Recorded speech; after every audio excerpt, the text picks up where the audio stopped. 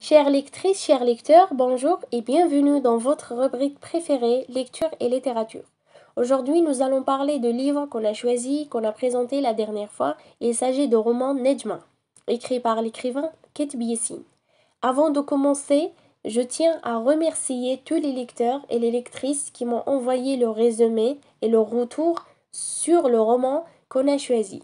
J'ai adoré vos résumés et pour faire plaisir à tout le monde, dans chaque résumé, j'ai repéré des paragraphes, des idées, des phrases pour en faire un autre résumé là où tout le monde a participé. Nejma est un livre écrit par l'écrivain algérien Ketbi publié en 1956 aux éditions de Ce.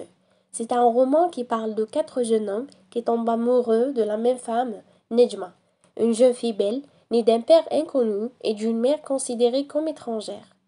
Dans ce roman, nous compte l'Algérie de la répression coloniale, de soulèvement des étudiants, de la torture et des crimes à répétition. Les actions sont entrecoupées, la narration est saccadée et variante. L'auteur y met un souffle haletant, ça lui permet de revasser, de glisser vers la poésie, et la lecteur se suspend par moments pour ne pas perdre les repères.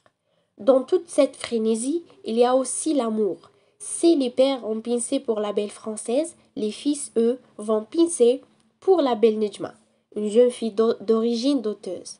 Elle est aussi la métaphore de l'Algérie qu'on aime d'un côté et qu'on gifle de l'autre côté. Au moins, on est prêt à mourir pour elle. Kate Biessin a montré au monde à travers ce livre l'histoire d'un pays dans toute sa difficulté d'être.